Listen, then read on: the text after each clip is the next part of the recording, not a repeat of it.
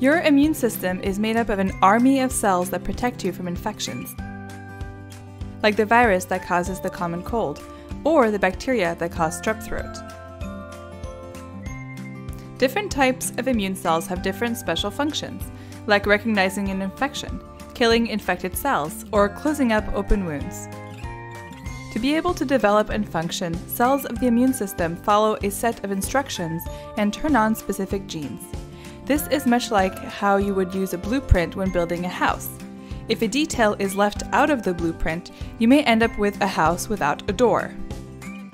Babies who are born with mutations in the important immune system genes lack the correct blueprint, and as a result, they can't develop a normal immune system. Because their immune cells cannot fight off foreign invaders, even minor infections can be deadly. These babies have what is called severe combined immunodeficiency, or SCID. SCID is commonly known as bubble boy disease because at one time the only way to manage the disease was to isolate the sick child in a sterile environment. Left untreated, SCID babies typically die within their first two years of life. Fortunately, researchers have worked hard trying to fix the immune systems of SCID babies and continue to develop better stem cell transplant strategies to cure SCID. Before we explain the therapies, let's discuss how the immune system develops. A special type of cell lives in our bone marrow called a hematopoietic stem cell, or HSC.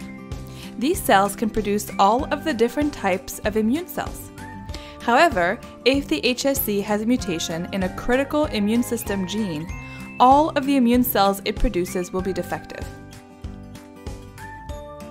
Scientists are trying several complementary approaches. One, fixing the gene mutation in the HSC, and two, getting rid of all of the mutated HSCs and replacing them with normal ones. Let's start by discussing how we can go about fixing the mutation. Researchers in the group of Don Kohn at UCLA and others have been tackling this problem since the 1990s. They have developed a strategy to repair a gene mutation in HSCs from SCID babies, a method we'll call gene addition.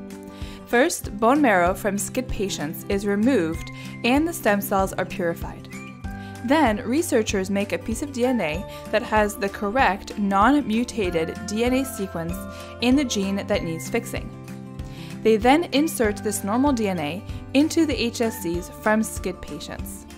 With the normal version of the gene, the stem cells and the specialized immune cells they produce will all have a normal copy of the gene and will make normal proteins.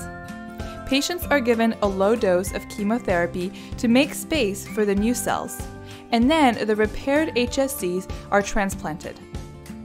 Incredibly, this method works. The first SCID trial using gene addition was conducted over 20 years ago, and researchers have improved on the technique a great deal. The last 30 SCID babies treated with gene addition have developed a good working immune system that has stayed stable over time. Another team of researchers at Stanford have developed a complementary approach, which we'll call HSC replacement.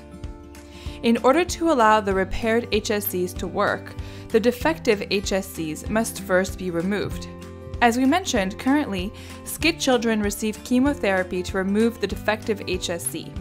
However, chemotherapy is toxic, so these researchers want to remove the defective HSC in a safer way. Their method involves giving patients an antibody, which is a special protein that recognizes other proteins in a very specific manner. This particular antibody targets and eliminates HSCs from the body. Researchers can then transplant stem cells from a healthy person or HSCs repaired using gene addition back into the patient. By eliminating the need for chemotherapy before the healthy cells are transplanted, there will be fewer adverse side effects from this treatment.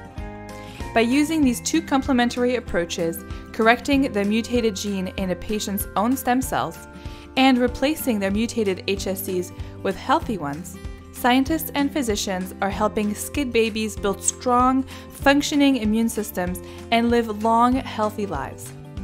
And what's even more exciting is that similar gene therapy strategies might work for other diseases known to be caused by mutations in a single gene, such as sickle cell anemia, cystic fibrosis, and muscular dystrophy. So far, both the gene therapy and HSC replacement approaches have shown promising preclinical and clinical data. However, it is important to keep in mind that these results are still early and the therapies must be tested further. As we build on the progress enabled by California's Proposition 71 and the funding agency created, the California Institute of Regenerative Medicine, we must keep the momentum going. We now have more advanced tools to develop better ways to treat devastating genetic diseases such as SCID. Only with continued support for biomedical research can we increase our understanding of the therapeutic potential of stem cells and translate that understanding into meaningful treatments that help give patients their lives back.